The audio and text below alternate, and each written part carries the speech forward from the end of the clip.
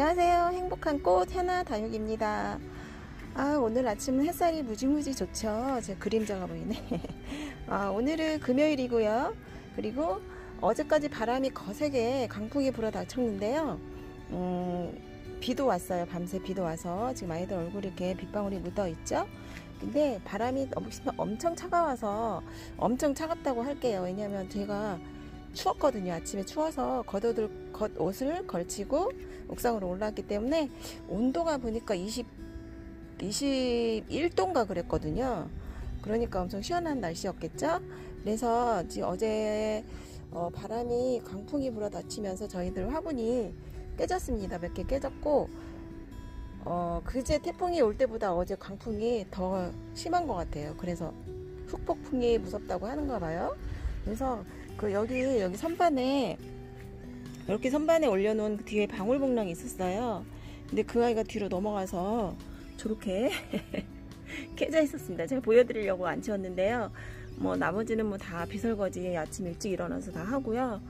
그리고 이렇게 입꼬지도 이렇게 있고 햇살이 강하게 내리쬐기 때문에 어 아이고 뜨겁네요. 근데 덥지는 않아요. 습하지 않는 날씨이기 때문에 그래서 방울복랑하고 소인제 소인제인가 저거?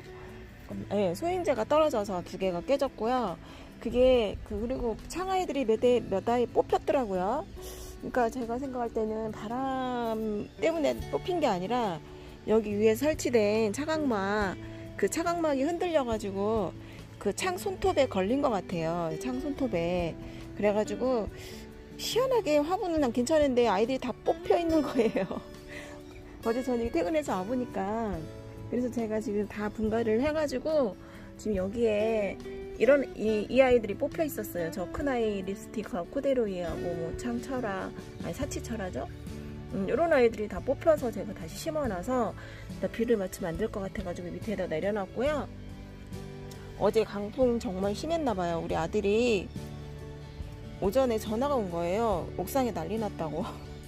옥상에 난리 나서 뭐 떨어지는 소리가 나고 그랬었나 봐요. 그래서 빨리 와보라고 했는데 제가 근무 중이 근무 근무 중이었잖아요. 그래서 어제 그냥 대충 아들한테 이렇게 하고 지시만 해놓고 좀 떨어질 만한 것은 밑에다 내려놓고 그랬다 그러라고 했더니 어, 퇴근해서 와 보니까 우리 착한 아들이 어, 그긴 화분 롱화분은 다 밑으로 내려놨더라고요.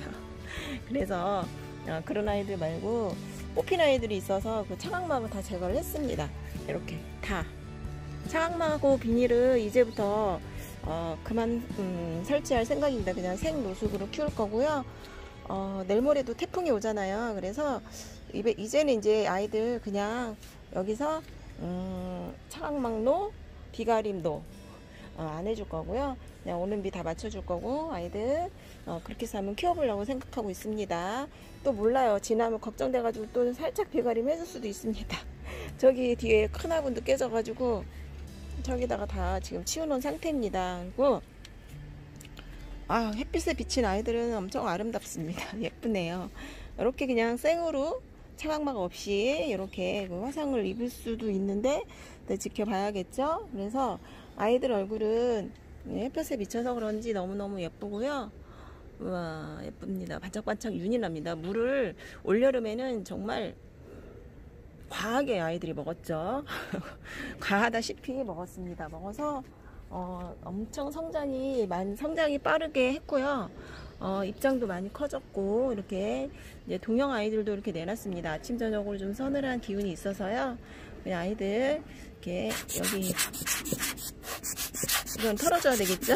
생장점에 있는 물방울 털어줘야 돼요. 왜냐면 어, 생장점에 있는 물은 그 햇볕이 비치면서 반사돼가지고 그 물방울이 돋보기 역할을 한다고 그래요. 그래서 왜 우리 예전에 학교 다닐 때 그 검은 검은 그 색종이 같은 거 검은 도화지 같은 거 올려놓고 돋보기로 해서 빛을 모아서 어, 종이를 태우는 실험 과학 실험이 있었잖아요.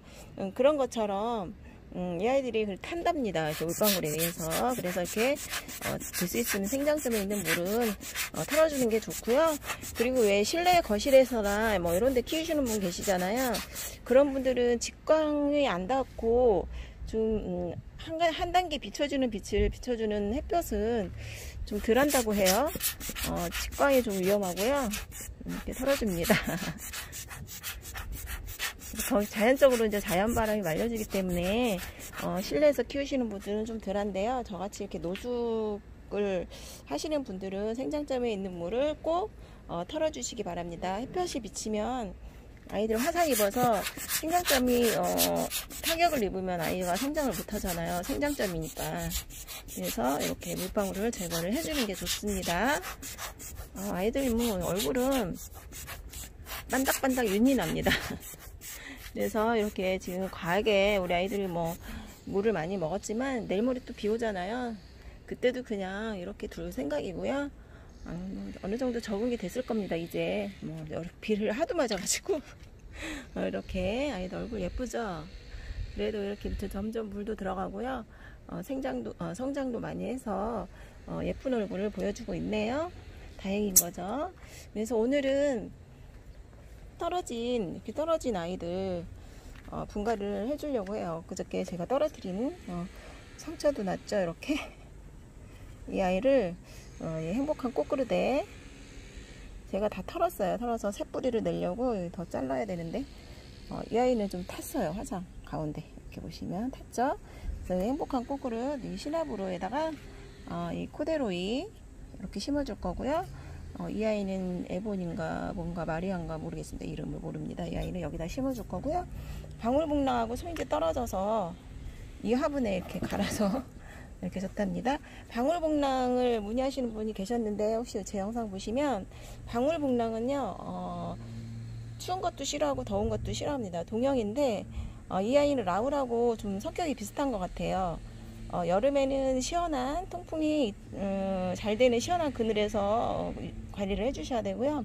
겨울에도 어, 통풍이 잘 되는 햇빛이 잘 드는 곳에 관리를 해주셔야 됩니다. 바깥에 생 노숙을 시킬 경우에는 봄, 가을에 가능하고요. 어, 여름하고 겨울은 안으로 들이시는 게 좋습니다. 그리고 이 아이도 역시 라울도 통풍이 안 되면 입장을 떨구잖아요. 자기들이 내려놔, 내려놔요.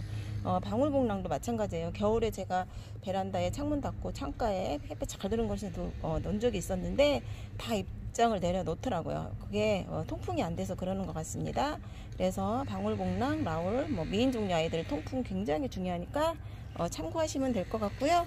오늘은 이렇게 또 분갈이를 해보려고 음, 준비를 했답니다. 분갈이는 또 역시 빠르게 해서 어, 시간 좀 단축 좀 할게요. 어, 잠시만요. 카메라 고정 좀 할게요.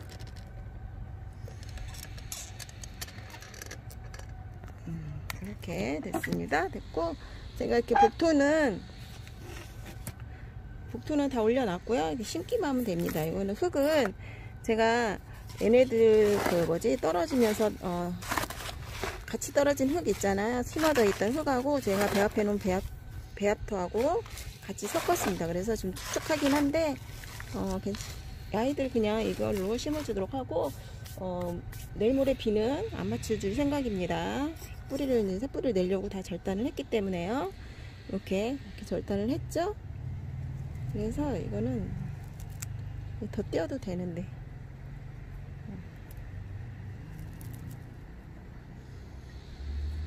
제거를 했습니다. 이렇게 요것만 남았어요. 이제 여기서 새뿌리를 내서 더 한번 건강하게 피워, 볼게요 그래서 얘를 이렇게 심어줍니다. 빠르게 가겠습니다.